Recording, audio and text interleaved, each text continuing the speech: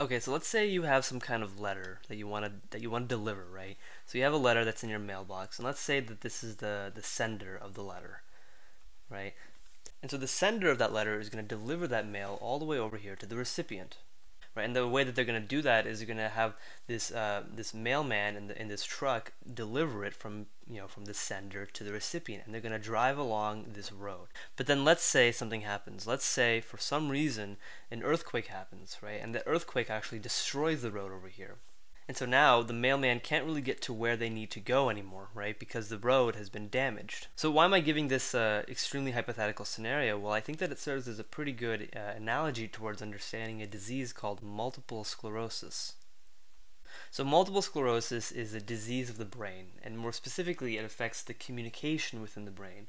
So what do I mean by communication in the brain? Well, in the brain, you have all these neurons, right? You have all these neurons that are constantly talking to each other, kind of like these two neurons over here. And so this neuron is going to send an electrical signal down the length of the axon, and that electrical signal is in the form of an action potential. And so to improve the efficiency of the communication, you have this stuff that kind of insulates the axon. So this stuff that I've drawn here in red is called myelin, and it really just makes the, the action potential move down the axon much more quickly.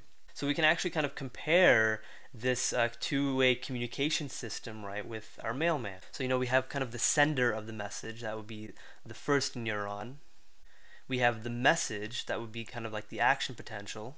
We have the road, which would be, you know, the, the myelin and the axon together. And we have the recipient. Now, in our analogy, we had an earthquake that actually destroyed the road somehow. So, in multiple sclerosis, what happens is you, well, you get destruction of the road, and more specifically, you get a, a degradation of the myelin. And so, because there's degradation of the myelin, we can call multiple sclerosis a demyelinating disease. So this is really where that disruption in the communication goes on, right? And when the myelin is, is degraded, the action potential won't really travel down the axon as quickly anymore. And sometimes it may not even travel down to begin with. So what's causing that degradation? Well, as it turns out, in multiple sclerosis, the immune system actually sneaks its way into the brain and when the immune system sneaks its way into the brain, for some reason it mistakenly recognizes that myelin, right, this myelin over here, as as foreign. And when it mistakenly recognizes it as foreign, it starts to attack the myelin. Hence this degradation. And because the immune system is attacking the body itself, we call multiple sclerosis an autoimmune disease as well. So that's kind of a cellular perspective on multiple sclerosis. But now I kind of want to give you a more a more macroscopic perspective on the on what the disease does to the brain, right? So let me clear up some space over here. And let me actually show you now two different brains. So this is just really a, a, brain scan, or two different brain scans of, well, two different brains. So on the left, we have a perfectly healthy brain. And on the right, we have uh, the brain of someone who's suffering from multiple sclerosis immediately on the right brain, you can tell that you have these bright spots over here, right, called plaques. So plaque is also really referred to as a lesion. And a lesion is really just a piece of tissue that's been damaged. So let's say, for example, you know, you have a hand over here. You know, maybe you get a cut on your hand somehow, right? You can call that cut kind of a lesion of the skin. In multiple sclerosis, you have a lesion in the brain, right? And those, those lesions are really coming from the damaged myelin, from the immune system. So what happens is you have all these immune cells that kind of come together, right? They kind of cluster around certain parts of the brain and they attack it. And when you have a whole bunch of immune cells coming together to attack a certain part of the body, we call this inflammation. And because it's happening in the brain, we call it neuroinflammation. Now, the condition in which you have these lesions in the brain is called sclerosis. In the case of multiple sclerosis, you have multiple lesions, hence why we call it multiple sclerosis. Now notice how you're getting these lesions in different parts of the brain, okay? Different parts of the brain are going to be responsible for different functions. Some may be responsible for vision, others may be responsible for, uh, for cognition, for, for moving around, for movement, for touch, and so on and so forth.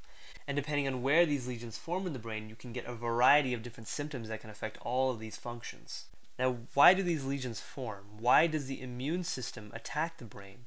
The problem is that we don't actually know. We're not really sure with 100% certainty what causes multiple sclerosis. All we know is that some people may have some, a kind of genetic predisposition towards developing the disease, and that there are also probably some environmental factors that may be involved as well. And, and, and the, the fact of the matter is that the, your genetics can really interact with the environment, and that can kind of stimulate the progression of the disease. Now, the exact types of genes that are involved and the exact types of environmental factors that may be involved uh, will be a topic that I'll cover in a later video. But for now, this is really all that we know about the causes of multiple sclerosis.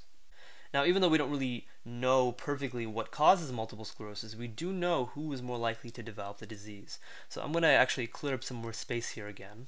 And so now I'm going to show you a picture of the Earth. And the reason is because I want to give you a global perspective on you know, the prevalence and the incidence of multiple sclerosis. So the disease affects about 2.5 million people worldwide. Now, is everyone on the planet equally likely to develop the disease? Well, no. As it turns out, if you move north from the equator, right, so if you move north from here, you'll notice that the incidence of MS actually increases. And the incidence is actually pretty high, you know, in these northern areas, right? So like here in Canada and in the, the northern United States, uh, and here in a lot of uh, Europe and Russia as well. So it often affects Caucasians more than other races.